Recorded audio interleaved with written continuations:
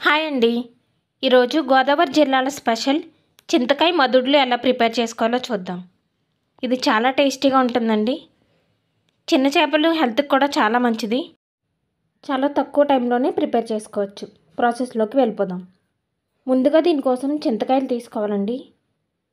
చింతకాయల్ని ఇప్పుడు మనం క్లీన్ చేసుకుని కట్ చేసుకోవాలి.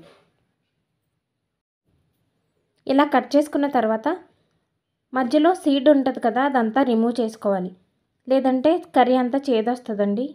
ఇలా మొత్తం క్లీన్ చేసుకుని పక్కన పెట్టుకోవాలి.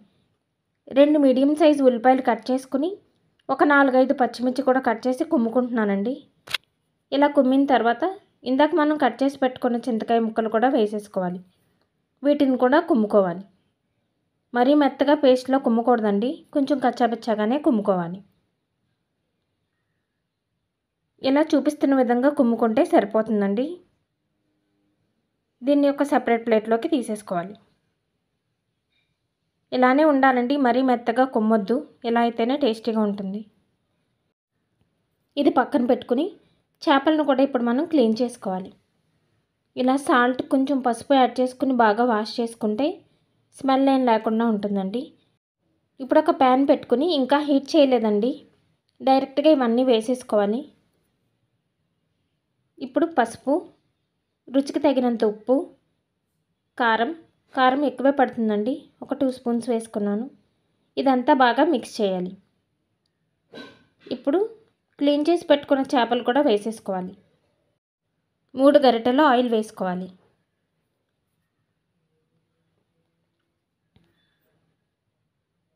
ఇలా వేసుకున్న తర్వాత ఇదంతా బాగా మిక్స్ చేయాలండి.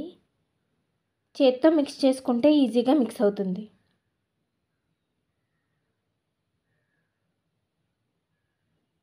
ఇలా మొత్తం బాగా మిక్స్ చేయాలండి. ముక్కలంతా పట్టేలాగా మిక్స్ చేసుకోవాలి. ఇప్పుడు స్టవ్ ఆన్ చేసుకోవాలండి మిక్స్ చేసిన తర్వాత. మూత పెట్టుకుని ఒక నిమిషం పాటు మగ్గనివ్వాలి. ఇలా కొంచెం మగ్గుతుంది కదండి. ఇప్పుడు వాటర్ యాడ్ చేసుకోవాలి. వాటర్ ఎక్కువగా వేయకూడదండి. చేపలు ముక్కలైపోతాయి. ఇలా ఒక చిన్న గ్లాస్తో వేసుకోవాలి. ఈ గ్లాస్ అయితే సరిపోతుంది. ఒకసారి ఇలా బాగా మిక్స్ చేయాలి. ఇలా బాగా మిక్స్ చేసుకున్న తర్వాత మంటను మీడియం ఫ్లేమ్లో పెట్టుకుని మూత పెట్టేసుకోవాలి. ఒక మూడు నిమిషాల్లో ఇలా దగ్గరకు వస్తూ ఉంటుందండి.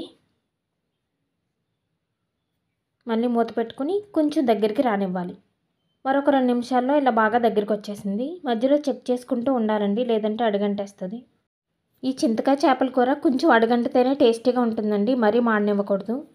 ఫైనల్గా చాప్ చేసుకున్న కొత్తిమీర కూడా వేసుకుని గరిటె పెట్టకూడదండి ఇలానే ఒకసారి మిక్స్ చేసుకుని మరొకసారి మూత పెట్టుకుందాం.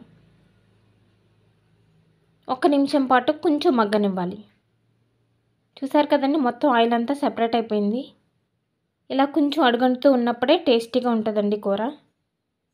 మీరు కూడా తప్పకుండా ట్రై చేసి ఎలా వచ్చిందో కమెంట్ చేయండి.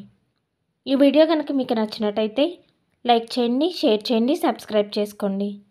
Thank you for watching.